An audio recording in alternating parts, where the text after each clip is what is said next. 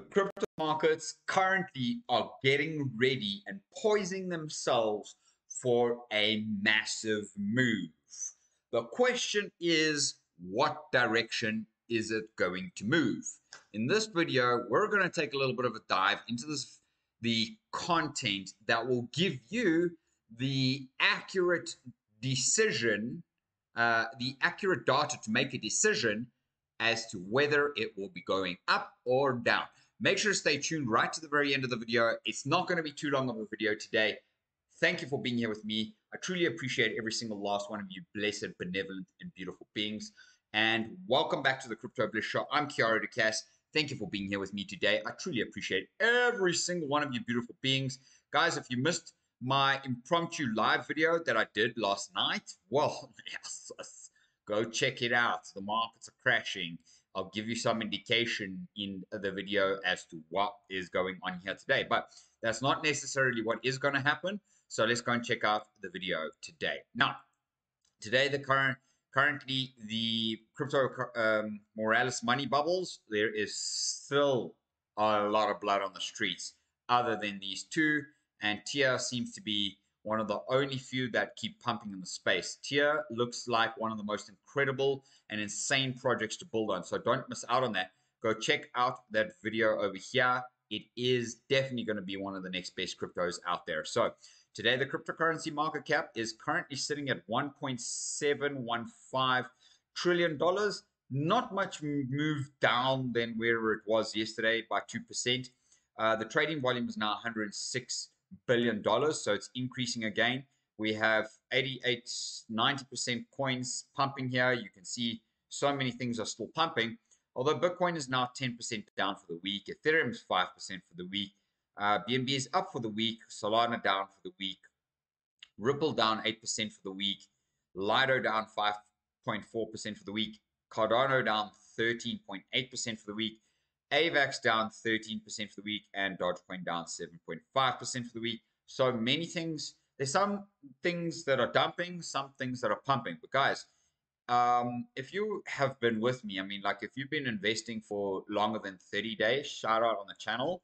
You guys are probably in profit, as you could see. The coins that I've been talking about on my channel, if you've been investing over the course of one year, uh, well, then you're pretty much mostly in the green. So I hope you guys are enjoying that. Today, the fear and greed index from yesterday's 63 in greed, we are now back in the neutral territory. Whoop-de-doo. Whoop-de freaking do. However, remember that when the market goes anywhere below 50%, that's a phenomenal time to accumulate crypto. Okay just as a heads up. And 50 to 100, that is wonderful time to take some profits, be active in your trading, and get in and out, in and out, especially if you are trading derivatives and using my link, my links down below here. Now, I haven't changed this yet, but my Bitflex deposit, uh, when you deposit funds, you can get up to $68,888. My Bybit, you can get up to $30,000 use one of those links, come and trade with me. Let's delve into the rest of the content. According to um, Larry Fink, wants to tokenize financial assets.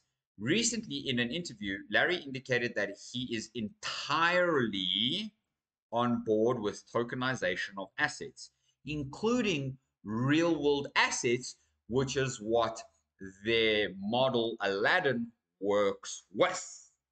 Take notes. He also made it clear that he regards BTC as an asset class that is no different than what gold represented over thousands of years. And during a Fox Business interview, Fink switched into survivalist cypherpunk mode, explaining that if you're in a country where you're fearful of your future, fearful of your government, or you're frightened that your government is devaluing its currency, by too much deficit, you could say BTC is a great potential long term store of value. Looks like Larry Fink might be the main character of this cycle. I happen to agree with that, especially because BlackRock and Fidelity are essentially the two giants in the space in terms of uh, the spot ETF volumes that is being traded, inflows. So now there is something that I need to caution you with, and I think you know Benjamin Cowen. I, I love him. I love his analysis. I love his shows, etc. I think he's very, very um, accurate on uh, the majority of his predictions, but no one in the whole world, guys, can be accurate on 100% of their predictions, especially in a new space like crypto that is quite volatile, has a lot of liquidity flowing in and out of it constantly. Um, so he says here, he has a, a kind of a negative outlook, uh, and he says that it is mirroring a pattern. Bitcoin is mirroring a pattern that could trigger a substantial drop. Now, we have spoken about this previously before. He's not wrong, guys. The bull market um, support band, an indicator made up of the 20 week simple moving average and the 21 week exponential moving average, is used to identify possible support levels for the price of Bitcoin during the bull market. Now, it's gonna very likely pull back to this 35, 36,000 level. So I wouldn't be surprised. Um, in February of the halving year, Bitcoin has always tagged the bull market support band from the current levels that would represent a substantial drop of a further 15%. We have seen this. I spoke to you guys about this in my charts uh, last night. If you haven't watched them, I will leave them in the cards above for you. In the case of the 2012 uh, Bitcoin halving and the case of 2016 Bitcoin halving, we held it bull market support band as support. But in the case of 2020, we did not hold it as uh, support. We had a, the pandemic drop. We ended up having a recession where the unemployment rate went up a lot.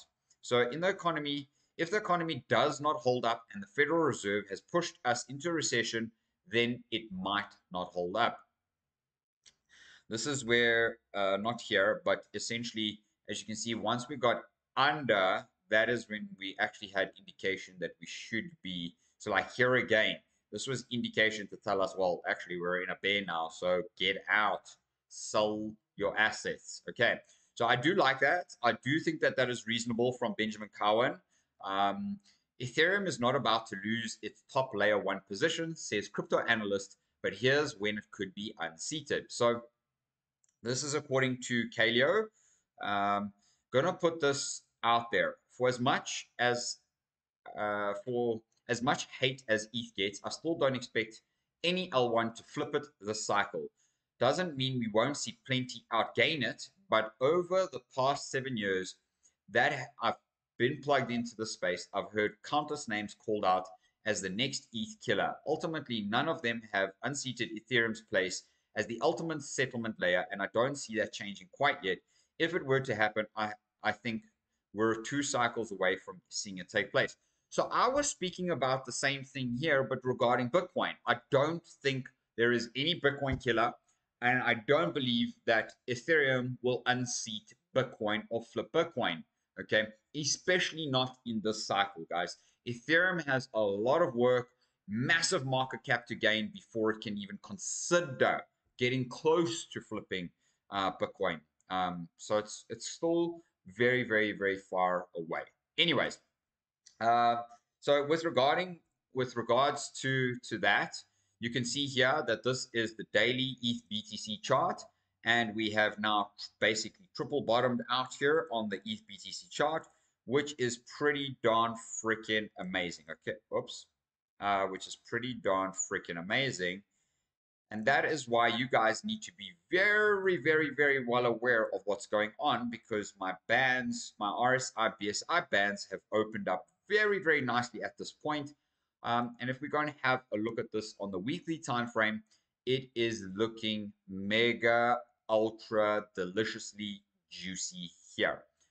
Um, when it decides it wants to load up again. So I'm going to move this because that is a massive level of resistance, and that is a massive level of support. So you guys can see that, you know, we're at this point right now. We bounced off of this level. We bounced off of this level. Um, and essentially, it almost looks like we're making a uh, a falling wedge pattern here on the ETH chart from this line and this line's perspective. Okay, so falling wedge is generally very, very bullish. So are we developing the momentum to actually get us out and pull us up to the 618 level into the um, ETH BTC pair? And as you can see, just by doing that, we would be at 0.1 of a BTC per ETH. Now, guys, that is still a 71% move, which could happen against Bitcoin with Ethereum. That is phenomenal. I think that's really important. Could we see a move like this? If we were to see a move like that, um, you know what what does that level look like? Because if ETH were to flip Bitcoin, I mean, look at how far it has to go, guys, to get kind of a one to one ratio. I doubt it's going to happen at this cycle, guys. Just I just need to caution you. Uh, this move from here to the top there was a 1,800% move. If we were to 1,800% move from where we currently are, oh wow, that's looking very interesting now. That could actually take us, that could take us to 1.15. Not so it's not impossible, guys, but it's for me, it's it's unlikely, is what I would rather say to you. All right, it's drawing back. So Tether holding now, if you guys are seeing this, Tether holding um, 2.8 billion dollars in Bitcoin. I think most of the uh, ecosystems in crypto learned, especially the stable coins, learned that with all the collapses that happened last year, the Luna, etc., you know, it's better to hold more Bitcoin so that you're backing, you're storing it and backing your paper assets of the stable coin reserves.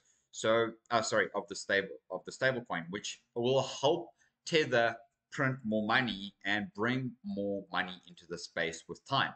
Now, one of the coolest things that I've been seeing here, and this is a shout out to Thomas uh, Polo, ETFs are scooping up about 10k BTC per day. And why would the price be dropping then? If they're since last week they're scooping up 10k BTC per day. Well, just remember that they're actually buying, okay, on the Coinbase OTC, which is over the counter and not on exchanges, okay. Um, but soon it's going to give the exchanges a massive um, demand and supply shock. So the halving is just a few months away. There is app this is an absolutely scarce asset. Whoever is selling right now must be a fool or they have no idea what they own. I 100% agree with this gent, and I'm going to retweet that for uh, for you. I do see this as an incredible, incredible um, uh, post because of the energy. Now, shout out to Stock Money Lizards. Guys, Bitcoin and its bearish divergences on the daily chart a lot of factors point towards a correction that could last several weeks or months. I have been telling you guys this for a little moment, but don't be worried. Just accumulate in these moments. That's all you need to do. Just accumulate because if you were watching my channel, I showed you guys last night that we are literally on the cusp of an absolute parabolic run in this crypto space. Now, drawing back to, to the Twitter chart here from Stock Money Lizards, higher high, high and higher high, high and lower high on your RSI. We then had a drop and 56 days of bars um, that kind of consolidated in a sideways move. Then we had a, uh, a fake out to the bottom, then a massive pump, which gave us a high, and then a higher high. Then we had a high and a lower high. Of course, then we had this drop and a bit of a fake out down here, which was 57 bars. The volume here was 1.18 million. The volume here was 748,000. We have had now a high and a higher high.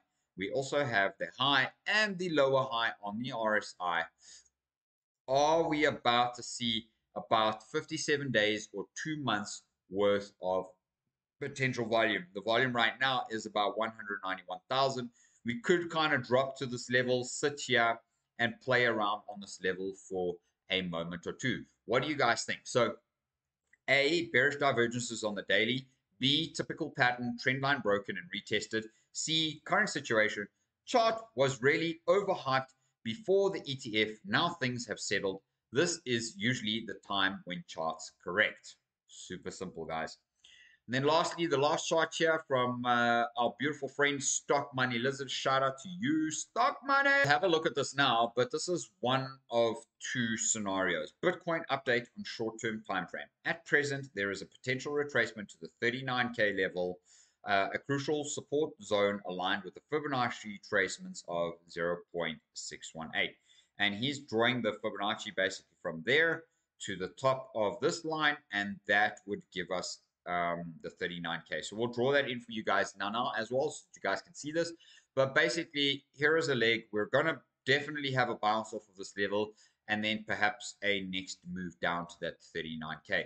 Look, guys, we did actually break down here yesterday to just over 40K because um, I did add into my positions there. Let's go and check out the charts. Uh, the Dixie chart for the day today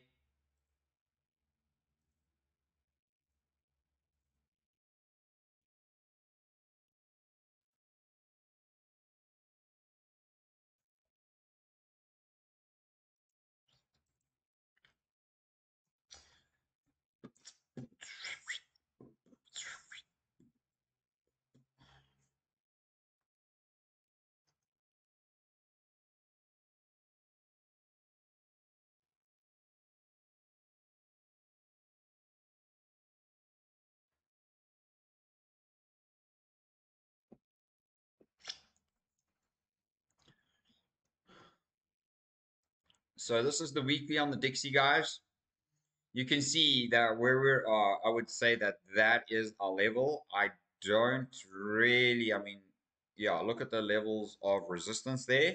So I don't believe we're going to get above that level. There's the target if we were to kind of head up any higher than where we are right now. But guys, I doubt that we're going to go too, too, too much higher. So check at the total cryptocurrency market cap total cryptocurrency market cap on the RSI and BSI is kind of pulling down a little bit.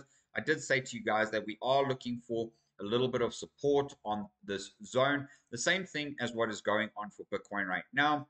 If you have a look at this particular Bitcoin chart, you guys, well, I mean, look at that RSI, BSI. It's telling us that we want to come down. However, actually, I want to go there on the weekly once again very, very quickly. And I'm going to draw in a um, line on this RSI BSI for you so that you can indicate this to yourself.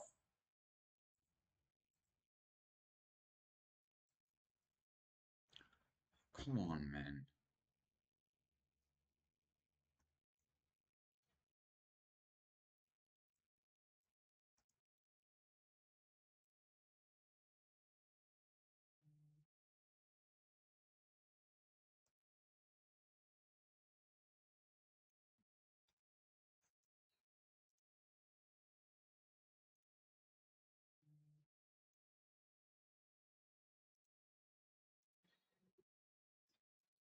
So,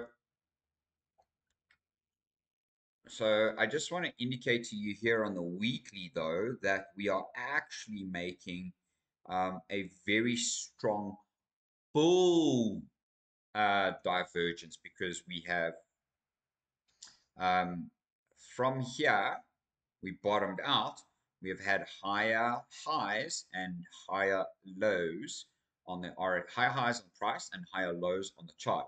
So look, RSI doesn't mean it can't come down to this kind of 50 level and then bounce right back off of that level. It doesn't mean it can't do that, which could essentially bring us down to this 35K level um, and then make an absolute pump to the upside, guys.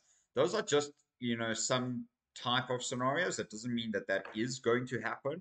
I'm just talking to you about these levels. Now, this weekly candle is still looking actually very, very bearish. And if we close this current weekly candle like this, the sell pressure hasn't been as much as last week, guys. I just need to, to kind of share that with you uh, on the Bitcoin price because a lot of people seem to be very confused. The dominance keeps dropping, but the total crypto market cap is actually improving and pumping. So as you guys can see here, we're getting a bit of a, a, a test or slash a bounce off of the white zone slash purple box here. So I do believe that we could see the continuation of the drop down here in dominance. But I do believe that if we are to look at this current level, that we need to just be very, very cognizant that currently we are testing this level and hopefully we can get a back up above the white box so that that shows us the indication of what is actually going on. Now let's draw that um, Fibonacci line in for you so that you guys can actually see, right? Right there to the top. Where is the 618? The 618 is actually down here at the 39K level.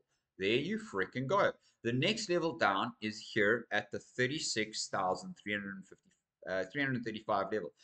Guys, those are that's a strong, strong, strong, strong support area. I just need you to know that. Okay. Below that, I mean, if we close below this this purple box for me, that's a danger zone. Then it's very likely that we'll probably come in and test down here at the 30, 31k levels. Is that likely? No. Is it a possibility? Yes. Guys, my trades are still flat out not happy. Um, I, I missed this limit, but I did put a limit here, which helped me bring my trade entry from there down to this level. Um, essentially, right now, we're, we're seeing a bit of buying energy come into this, and we could see a, a kind of a pump up to this level, like I said to you guys, like I just showed you guys if that is the case, you know, I, I, would possibly take some profits up at this level after I have got into that trade. Um, but you guys can see here, my Bitcoin is down, my cake is still down, my Lido is down, my Myria is down, my Optimism is down. Those are my trades. The rest of them I got out. So hope you guys have been enjoying that. Then over here, make sure you get your your daily check-in of um, your flex points. Okay, let's go check out my trades here on Bybit. Your flex points you can use in the voucher shop to basically go and get um, yourself some trading, etc. Now look at this, guys. Look at this. This is actually a really very, very nice level. Although I don't like that the the moving averages opened up, but your TSI, your MACD, your RSI, and your um, your stochastic are all pushing off of a support level, which tells me actually that we're in a very decent position here. Should I add to it? Um, yeah, possibly. Let's go add, where are we? 41, 41, 4, 41, 93. 41493. I'm going to leave it at that. Quantity 0 0.001. Uh, what's that? $4. 002. I'm going to say that. So if it does come down a little bit, that it'll get us into that position. Okay, that's the one. Then my Ethereum trade, because Ethereum kind of isn't pumping just yet. Oh, there you go. My order entry was just filled on Bitcoin. Um, my ETH, oh guys, my ETH, yeah, I mean it's it's a decent position to to look at. Um, two four one two four nine one. Okay, um, quantity 0.01 is that? 25 uh, 02 let's go 03 we're gonna go three dollars here guys. I'm adding to my positions. Um, so order submitted successfully so now i've added to my position over here it's uh, it's basically been filled and then my btc position now you can see it got added and filled, so it lowered the risk that I have over here. Guys, I'm pretty confident that we're going to get a bit of a pump up to this level back here, this 44K level. If we close above 44K level, guys, and we maintain within this purple box, I'm pretty confident that we'll end up going long. So levels that we need to now be very conscious of of resistance really are is this level here order entry filled on Ethereum. There you go, guys. So you guys can see that I'm live trading with you on the spot. Uh, we need to basically break out above these moving averages, above the down sloping resistance level, and then essentially push our way up to this uh, upper band. So that is a down sloping resistance level, guys. I hope you have enjoyed every single moment. Make sure you guys are subscribed to the channel. Check out my links down below so that you guys can come and trade with me. Thank you for being here with me today. I truly appreciate you. Oh, last thing. I did not show you the altcoin season index because the altcoin season index were actually about ready for explosion on shorter term time frames, um, not necessarily on longer term time frames. So uh, check out this. This is on blockchain.net. This is the altcoin season. So altcoin season, uh, this this is according to the daily chart. Okay, um, the altcoin season we're currently sitting at 78. On the month we're sitting at about 63. So uh, altcoin season at the moment we're we're already entered into altcoin season because we've gone beyond that 75 so is it a good time to get altcoins? Yes it is. If we drop altcoins will bleed. Will that be a, an even better time? Yes. Are we guaranteed that's going to happen? No. Okay. So currently on the monthly time frame we have not actually entered the altcoin season although we are and have been knocking on that door right now with the um, the Bitcoin dominance, as you can see, knock, knock, knock, um, knock, knock, currently knocking. Okay, so we're about 12 points away from there, and we're getting ready for the next move up.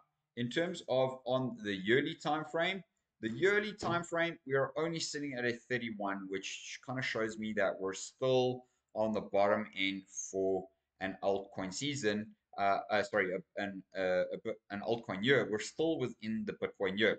Are we about to see the altcoin seasons really make a huge rally up to the upside? Very, very likely. People would be exiting some of their positions in Bitcoin and getting into altcoins. If you guys enjoyed that, subscribe to the channel, hit my links down below. Love you all. Take care. See you on the next.